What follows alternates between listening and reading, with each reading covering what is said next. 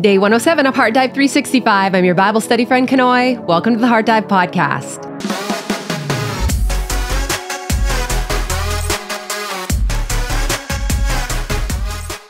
Happy hump day, friends. If you're studying with us in real time, we are back in 1 Samuel today in chapters 25 through 27, reading from the ESV by Crossway Translation, continuing the narrative of David and Saul. So before we get started, if you're part of the Heart Dive fam, if you could please help us out by hitting that like button. Someone said yesterday, that's like taking roll call. So if you are saying here, present, that is your way of saying I am here and ready for Bible study.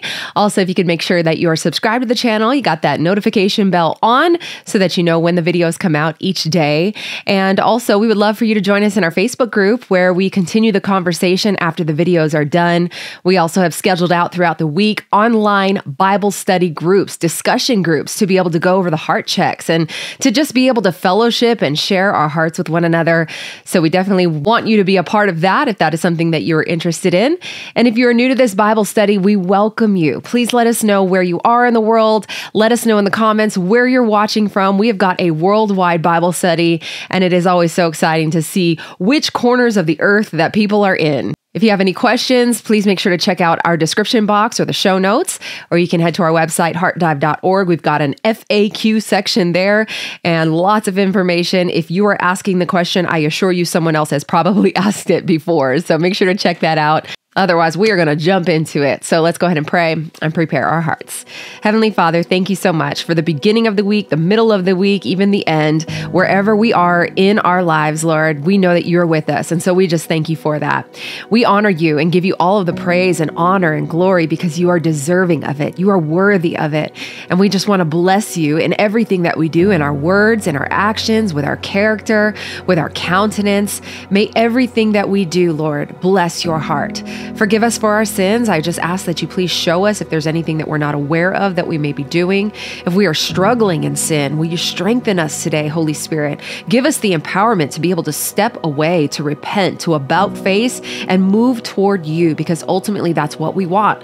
God, when we got saved, that was our way of saying we are committed to following after you. We are taking up our cross. We are getting rid of our old life. We know that we are a new creation and we want to live that way. So I pray for your help in doing doing that.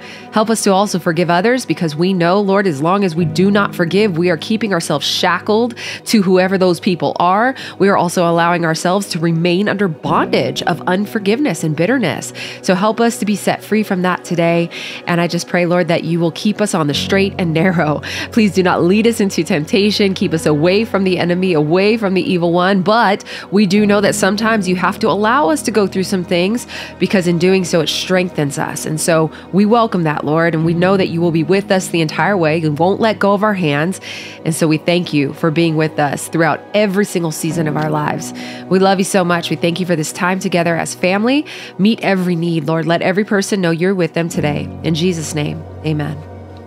So, here in chapter 25, we come to the end of Samuel's life. Verse 1 Now Samuel died, and all of Israel assembled together and mourned for him, and they buried him in his house at Ramah. So, even though throughout Samuel's life, Israel kind of rejected him, they didn't really show the highest respect toward him. We can see here in the end of his life, the way that they mourned for him, it means they came together to be able to honor him at the end of his life. And obviously, the greatest honor that he is receiving on this earth is the fact that he's in Hebrews Hebrews 11. He is in the great hall of faith. And while amazing work started off with the life of Samuel, it doesn't end there. God is going to raise up a new person, which he already has, but we're seeing it here in the middle half of verse 1. Then David rose and went down to the wilderness of Paran. And there was a man in Maon, which Maon is about eight miles south of Hebron, which is in Judah, whose business was in Carmel. And Carmel is just one mile north of Maon. The man was very rich. He had 3,000 sheep and a thousand goats. So he's got lots of cars. He was shearing his sheep in Carmel. Now, the name of the man was Nabal, which his name means fool, and the name of his wife, Abigail, and her name means joy of the father. So, very different here. How is joy of the father married to a fool? I don't know, but it happens. The woman was discerning and beautiful. Now, this is a huge compliment because the only other two women in the Bible who are called beautiful are Esther and Rachel. But the man was harsh and badly behaved. He was a Calebite. Now, if you remember, Caleb's name actually means dog. So it's almost like saying he's a dogite. David heard in the wilderness that Nabal was shearing his sheep. Now, shepherds or sheep herders, their shearing the sheep was kind of like the harvest for anybody who had farms. And so this was a big time of celebration when they were shearing the sheep. It was kind of like reaping the harvest and you'd throw festival. So David sent 10 young men, and David said to the young men, Go up to Carmel and go to Nabal and greet him in my name, and thus you shall greet him. Peace be to you, and peace be to your house, and peace be to all that you have. So David is making sure that he is not intimidating Nabal by sending servants instead of coming to him directly. Now, Nabal is described as a rich man, but as we will find out, he was really only rich materially. And whenever we think about the lifestyles of the rich and famous, this is usually the standard on which we base it. You know, how much money they have, how big of a mansion they've got, if they're on the show Cribs. Anybody remember that show? Does that still on? I doubt it. Does MTV even still exist? I don't know. but how many cars they have in their, you know, 10 car garage. But we know that heavenly riches go far beyond any of that. Our wealth is so different. I mean, it is found in our eternal future. But even while we're here on earth, we can still be really rich in the kingdom of God. We can still be really rich and live an abundant life. And that can be found in our character, it can be found in our purpose. We can be rich in mercy and grace, peace and joy, because those are the things that have been given to us through the gift of the Holy Spirit. So nothing on this earth really will give us what Jesus can. There is no Hollywood in heaven. So what's considered rich now that's going to be very short lived in comparison with eternity. So, heart check how rich do you feel? Verse 7 I hear that you have shearers. Now your shepherds have been with us, and we did them no harm, and they missed nothing all the time they were in Carmel. Ask your young men, and they will tell you. Therefore, let my young men find favor in your eyes, for we come on a feast day. Please give whatever you have at hand to your servants and to your son David.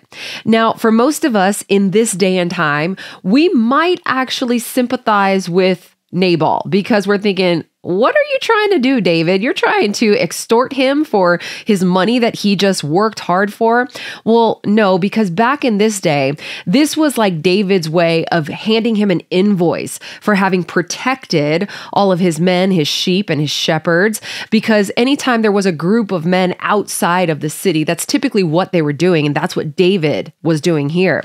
So when David's young men came, they said all this to Nabal in the name of David. And then they waited. And Nabal answered David's servants, Who's David? Who is this son of Jesse? There are many servants these days who are breaking away from their masters.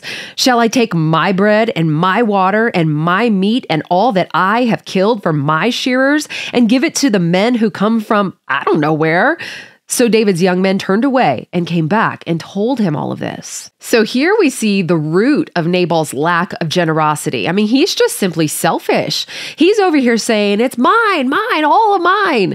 And he doesn't want to give David any of that. And he's adding injury to insult by saying, Who's David? And he obviously knew who David was, but he wasn't about to give him that gratification of letting him know that he knew who he was. So it's almost like he was saying, Who does he think he is? And so he's viewing all of his riches as if they have been done by his hands alone and not the Lord's.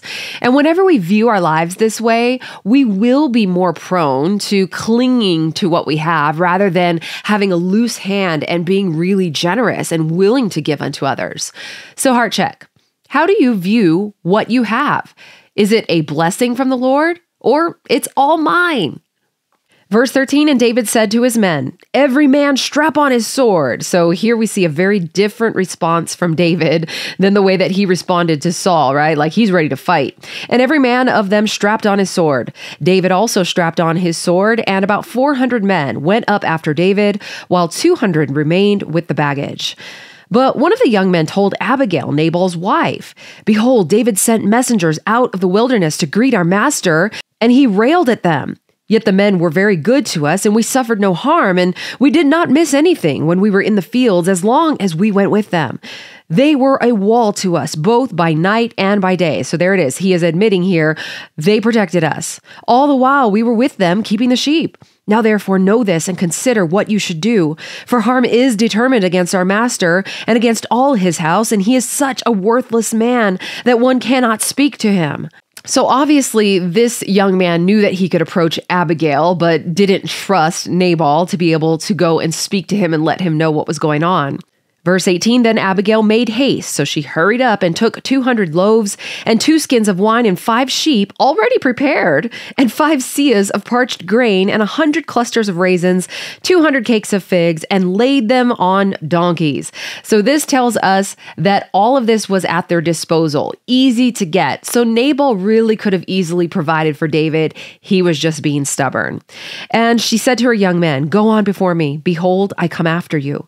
But she didn't didn't tell her husband Nabal. Uh oh. Now, I can only assume that she isn't telling him because she doesn't want to create any drama. And as she rode on the donkey and came down under the cover of the mountain, behold, David and his men came down toward her, and she met them. Now, David had said, Surely in vain have I guarded all that this fellow has in the wilderness, so that nothing was missed of all that belonged to him. And he has returned to me evil for good.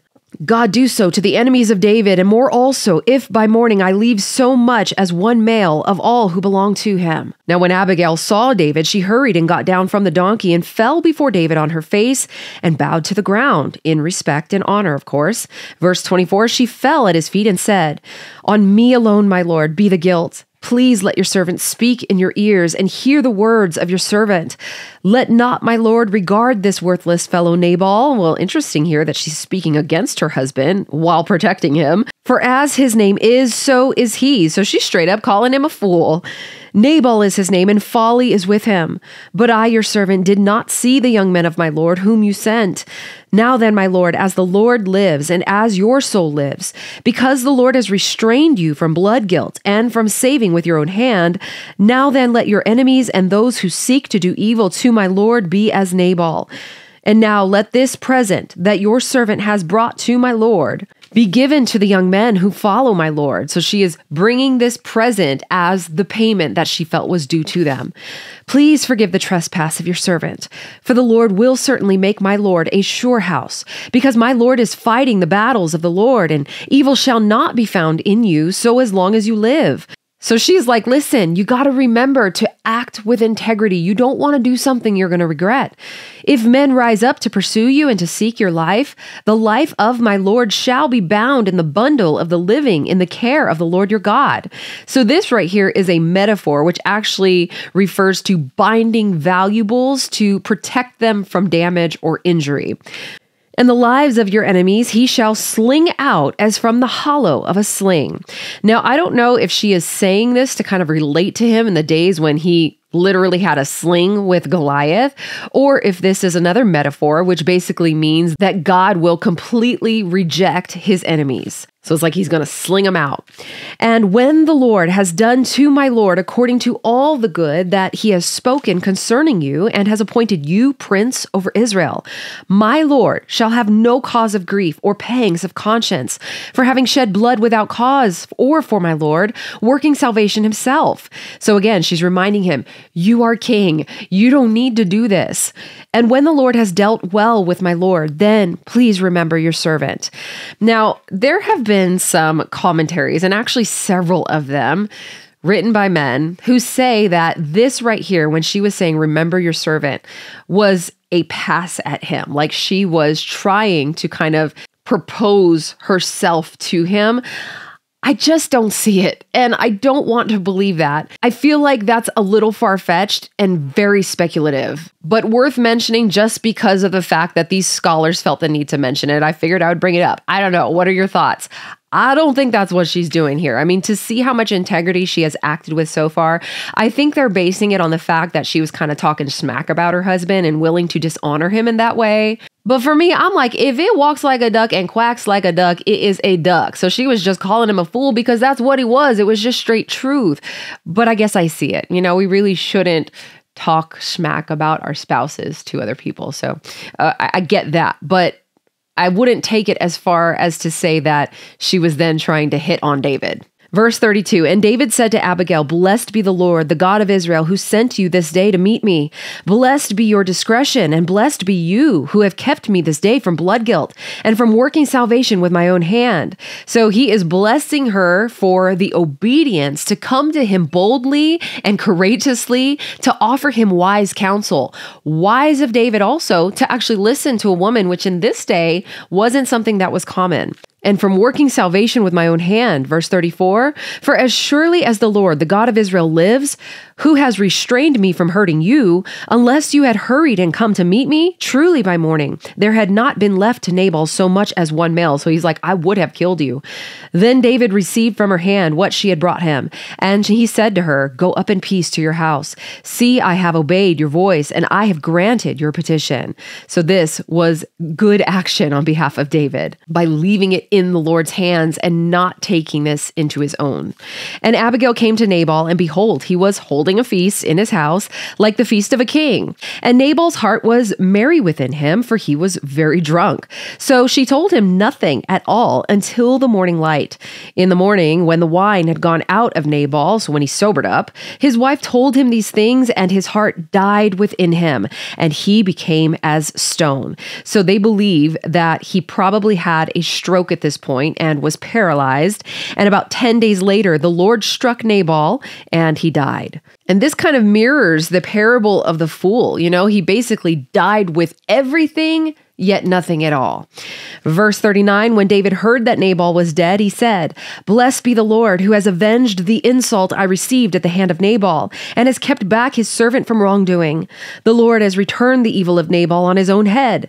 Then David sent and spoke to Abigail to take her as his wife. Again, another reason why I believe many of these scholars believe that she was hitting on him because seems like they may have had a little connection whenever they spoke considering that he's now wanting her as his wife. And when the servants of David came to Abigail at Carmel, they said to her, David has sent us to you to take you to him as his wife.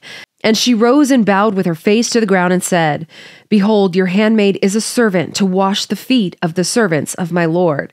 So she is still acting in a very humble manner because this was the most menial jobs of any servant, and she's willing to do it. And Abigail hurried and rose and mounted a donkey, and her five young women attended her. She followed the messengers of David and became his wife. So she becomes kind of like his second first wife, because remember, he was married to Michal, and Michal was actually given by Saul to his best man. So we can assume here that he is no longer married. David also took Ahinoam of Jezreel. So we are not condoning polygamy here. It was customary in this day. And we will find out later on that Ahinoam actually gives birth to Amnon, who creates a lot of grief in the life of David. And both of them became his wives. Saul had given Michal, his daughter, David's wife, to Paltai, the son of Laish, who was of Gallim. So, in the end, here we see the classic case of vengeance is mine. I will repay, says the Lord. He will fight the battle for you. You don't need to take matters into your own hands. And Jon Courson actually mentioned, and I thought this was interesting, the likeness between Abigail and us. So she was a beautiful woman, and we too are robed in his beauty. She was yoked to Nabal, or a foolish man. We were once yoked to our foolishness and our sin. She was barren where we had no fruit either without Jesus before we actually received Jesus. She heard the impending doom the same way that we likely heard about hell at one point, and then she humbled herself before the king, the way we too humbled ourselves before our king, realizing we need a savior. She sought forgiveness, same as we did. She knew David's goodness, which we know the goodness of God, and David granted her her request for salvation. This is the biggest part right here is that when we seek forgiveness and we ask the Lord to be our savior, he responds to that. Chapter 26. Then the Ziphites came to Saul at Gibeah, saying, Is not David hiding himself on the hill of Hachilah, which is on the east of Jeshimon? And here's the Ziphites again. They told on him before, so always gotta be a Ziphite in our lives. And Jeshimon actually means waste or desert. So he's hanging out in the wasteland. So Saul arose and went down to the wilderness of Ziph with 3,000 chosen men of Israel to seek David in the wilderness of Ziph. So what happened to the repentance that Saul had before? Obviously, it wore off. And Saul encamped on the hill of Hachilah, which is beside the road on the east of Jeshimon. But David remained in the wilderness. So if we go back to our map, let's take a look here. So here we see the wilderness of Ziph, which is right above Carmel and Maon. Now, when he saw that Saul came up after him into the wilderness, David sent out spies and learned that Saul had indeed come. Then David rose and came to the place where Saul had encamped, and David saw the place where Saul lay with Abner the son of Ner, the commander of his army. And Saul was lying within the encampment while the army was encamped around him. So now he's got 3,000 bodyguards around him. Then David said to Ahimelech the Hittite. Now, a Hittite was a non Israelite. They were militarily powerful. So Ahimelech was probably a mercenary soldier, meaning he was just hired for pay. And to Joab's brother Abishai, the son of Zeruiah, who will go down with me into the camp of Saul? And Abishai said, I will go down with you. So David and Abishai went down to the army by night, and there lay Saul sleeping within the encampment with his spear stuck in the ground. So a spear was a symbol of authority. So keep that in mind. It was at his head, and Abner and the army lay around him. Then Abishai said to David, God has given your enemy into your hand this day. Now please let me pin him to the earth with the stroke of the spear, and I will not strike him twice. Now, when he says this, he's basically saying, My first strike will be a death blow. But David said to Abishai, Do not destroy him, for who can put out his hand against the Lord's anointed and be guiltless? So, once again, David acting very wisely, still fearful of the Lord, knowing that this is God's anointed, he will not lay a hand on him. And David said, As the Lord lives, the Lord will strike him. So he's like, God's going to do it, or his day will come to die die, or he will go down into battle and perish. The Lord forbid that I should put out my hand against the Lord's anointed. But I take now the spear that is at his head and the jar of water, and let us go. So David took the spear and the jar of water from Saul's head, and they went away. No man saw it or knew it, nor did any awake, for they were all asleep, because a deep sleep from the Lord had fallen upon them. So here we see God's divine working in this matter. Verse 13 Then David went over to the other side and stood far off on the top of the hill, with a great space between them. And David called to the army and to Abner, the son of Ner, saying, Will you not answer, Abner? Then Abner answered, Who are you who calls to the king? And David said to Abner, Are you not a man? Who is like you in Israel? Why then have you not kept watch over your lord the king? For one of the people came in to destroy the king, your lord. This thing that you have done is not good. So he is rebuking Abner here for not protecting Saul. As the Lord lives, you deserve to die because you have not kept watch over your Lord, the Lord's anointed. And now see where the king's spear is and the jar of water that was at his head. So you know Abner's looking around like, uh oh, where is that spear and jar of water? And Saul recognized David's voice and said, Is that your voice, my son David? And David said, It is my voice, my Lord, O king. And he said, why does my Lord pursue after his servant? For what have I done? What evil is on my hands? Now, therefore, let my Lord the king hear the words of his servant. If it is the Lord who has stirred you up against me, may he accept an offering. But if it is of men, may they be cursed before the Lord, for they have driven me out this day that I should have no share in the heritage of the Lord, saying, Go serve other gods. So here we see David's main concern. It's the fact that he has been outcast out of the land of Israel. There is no central place of worship for him anywhere outside. And so this is his biggest thing is that he cannot fellowship with God properly. Now, therefore, let not my blood fall to the earth away from the presence of the Lord, for the king of Israel has come out to seek a single flea, like one who hunts a partridge in the mountains. And Saul said, I have sinned. Return, my son David, for I will no more do you harm, because my life was precious in your eyes this day. Behold, I have acted foolishly, and I've made a great mistake. Now, what's really sad is that Saul will die soon after this. So these words are kind of like an epitaph. I mean, they perfectly sum up his life and could be written on his tombstone. I just wonder, you know, if Saul actually believed that his days were numbered, would he have actually acted differently? Would he have had a real change of heart? So, heart check. Do you live as if your days are numbered? What would be written on your tombstone if you died today? Verse 22 And David answered and said, Here is the spear, O king. Let one of the young men come over and take it. The Lord rewards every man for his righteousness and his faithfulness, for the Lord gave you into my hand today, and I would not put out my hand against the Lord's anointed. So David really understood the principle of with the measure you use, it will be measured back unto you. So he is having a whole lot of mercy here on Saul. And thankfully he did, because we are going to see that he's going to need that mercy right back later on in his life, and he will get it from the Lord. Behold, as your life was precious this day in my sight, so may my life be precious in the sight of the Lord, and may he deliver me out of all tribulation. Then Saul said to David, Blessed be you, my son David. You will do many things and will succeed in them. So David went his way, and Saul returned to his place. So here we come to the end of the interaction between David and Saul, because indeed they will never see each other again. Chapter 27. Then David said in his heart, now I shall perish one day by the hand of Saul. There's nothing better for me than that I should escape to the land of the Philistines. Okay, wait, what? David is talking himself right out of faith and straight into enemy territory. And this is what will happen whenever we consult ourselves, our own hearts, rather than God. Because Jeremiah 17 9 says that the heart is deceitful and desperately wicked. So, whenever we do try to have a heart to heart with our own feelings and our own thoughts, this is when we will start to get confused and we will come to faulty conclusions the same way David is. Because what we say in our heart can so easily shape our thoughts, it can shape the trajectory of our future. And we really have the best counselor in the universe right at our disposal. Yet most of the time, we kind of treat him like he's an appointment. You know, we're like, five minutes of prayer, Lord. Or we will just say the one prayer before our meal and then we'll check off the box that we've read our devotions that day.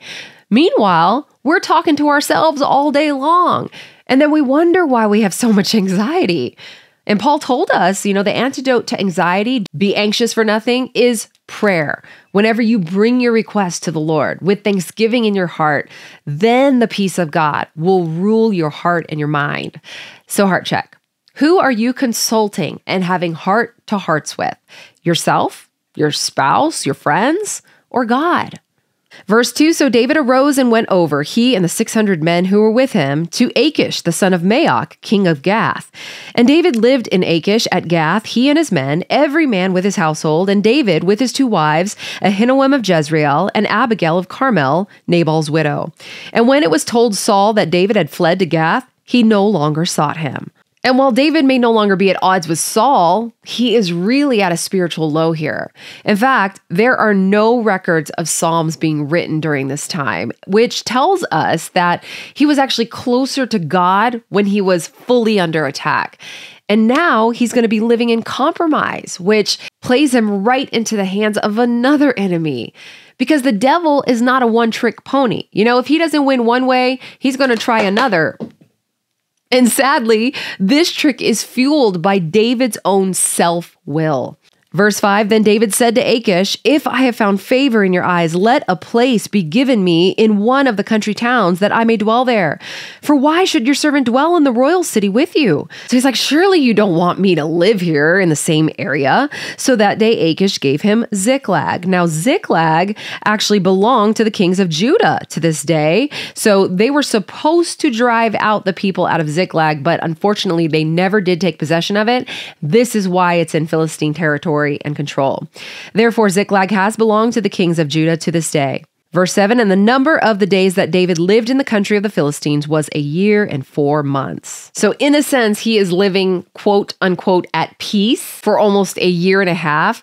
Now, looking at it in the spiritual sense, this isn't necessarily a good thing because when the enemy stops chasing you down, it's usually because you're no longer a threat to him. He's like, oh, I don't have any time to deal with that person. Next, let's move on to the next person who's actually working for the kingdom. And I know sometimes that freaks people out because they're like, I don't want to live for Jesus if that means the devil's going to be chasing me down. Where you really need to change your perspective is that life with Jesus is far greater with his protection, with his hand upon your life, with his guidance guidance than being out in a territory of the enemy elsewhere when you're going to become weak, you're going to become confused, you're going to get attacked anyway, but you won't have the Lord there with you. So don't let that freak you out. That's what the enemy wants. He wants you to be scared so that you will go in the other direction. Verse 8 Now David and his men went up and made raids against the Geshurites, the Girzites, and the Amalekites, all three of these people that they were supposed to drive out. For these were inhabitants of the land from of old, as far as Shur to the land of Egypt. And David would strike the land and would leave neither man nor women alive, but would take away the sheep, the oxen, the donkeys, the camels, and the garments, and come back to Achish.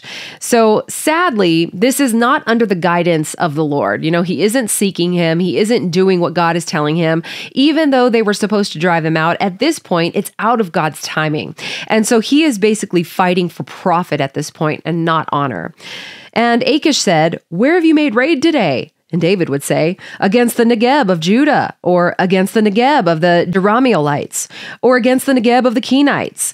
And David would leave neither man nor woman alive to bring news to Gath, thinking, lest they should tell about us and say, So David has done. Such was his custom all the while he lived in the country of the Philistines. And Achish trusted David, thinking, He has made himself an utter stench to his people Israel. Therefore he shall always be my servant. So David has kind of made himself a busybody. You know, he is trying to stay out of the wits of the king, but he is doing things in the meantime to kind of deceive him into thinking that he has turned against Israel and is loyal to him now. So sadly, here we see that root of killing in order to cover up something beginning to grow in his life, which we will see later on when he kills Uriah in order to cover up his sin with Bathsheba. Now, taking a look at some of our deep dive questions What lessons in marriage can be learned from Abigail? How does Abigail's appeal to David show the power of peacemaking? What lessons in foolishness and wisdom can we learn from chapter 25? And what lessons in integrity, respect, and vengeance can we learn from chapter 26? What would respect for God's anointed look like for us today? Why did Saul stop pursuing David once he was in Philistine territory? And how was this good and bad? How can we relate to this? So, Heavenly Father, we thank you so much for reminding us that vengeance is yours and that we do not need to fight unnecessary battles. We know that no matter where we go, even if it is somewhere we shouldn't be, you are there to hear our cry whenever we call out to you. Thank you, Lord, for hearing our voice. I pray that we never forget this and always remain close to you, seeking your heart in all things, so that we do not begin to consult ourselves. Thank you, Lord, for the position you have placed us in. We know that you have raised us up to be right where we are for a reason. So I pray that we will be sensitive to the calling in this season of our lives. We don't want to miss our chance at fulfilling your purpose, for we know that your work does not stop at us. So if we don't move when you say to, you will raise up another. But thank you that your gifts and callings are without repentance. So even if we do miss the bus, there is always another one available if we get back on track. And I thank you for the life of Abigail and the way that she maintained so much truth and honor in every area of her life. She didn't cower in fear, but boldly took a stand with so much grace and humility, all while protecting her family. Even if she was mistreated, she bore the burden and was blessed because of it. So I pray that we can all be faithful like this, honoring our spouses even when it's hard. And on the flip side of that, we see how the disrespect and selfishness of Nabal led to his ultimate downfall because you're just. And what I love most about you, God, is how you continually work on our character through every single situation. You know, we all have opportunities every single day to act on our emotion, or to wisely discern when respect and honor must supersede our feelings. We know that we will ultimately reap what we sow, so please help us to make wise decisions in all things. I pray that we will have steadfast faith the way that David did. Even when we feel that we are being pursued on all sides and the pressure is mounting, help us, Lord, to act with integrity, even in the face of injustice. So we will continue to trust that in your perfect timing, you will make things right. And even if we find ourselves running in the wrong direction or camped out in enemy territory, I pray that we will continue to rely on your protection and your resources rather than trying to take matters into our own hands. May we always navigate back to you. Lord, we know that life on this earth is so short, so I pray that we live out each and every day as if it is our last. And in doing so, may we leave a legacy that will be written on the hearts of so many, one that ultimately brings you honor and joy. But it starts today, it starts now. So help us to continue to do that, to bless your name in the way that we live, in the way that we speak, and in the way that we treat others. We love you so much. We pray these things in Jesus' name. Amen. Heaven and salvation is a divine gift that is given to us by grace. None of us deserve it. In fact, the Bible says that the wages of sin is death, and every single one of us have fallen short. And then we desperately need someone to pay that price. And Jesus did it. He didn't do it because we are righteous on our own merit. He did it because He loves us and He wants to spend eternity with us. But it won't happen if we don't receive Him before we leave this earth as Lord and Savior. Hell is a very real thing, and there is no second chance after we take our last breath here. So I want to be able to give someone the opportunity today who is saying, I'm ready. I've never given my life to Christ. I don't know where I'm going to end up after I die.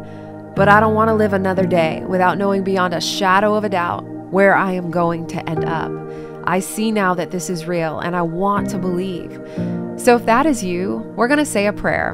And I'm going to put the words on the screen so that you can say them audibly with your mouth because the Bible says that when you believe and confess with your mouth that Jesus is Lord and that He died and rose again, then you will be saved. So we're going to say this prayer together. Believe it in your heart, speak it with your mouth, and know that this is indeed the day of your salvation. Dear Heavenly Father, thank you for Jesus. Jesus, thank you for dying for me. I believe that you came, you died, and you rose again. I confess my sins to you today, and I turn from them, and I now live my life for you. I know that I am forgiven of all my sins, so I receive you now as Lord and Savior, and I belong to you, Jesus. I pray these things in Jesus' name. Amen.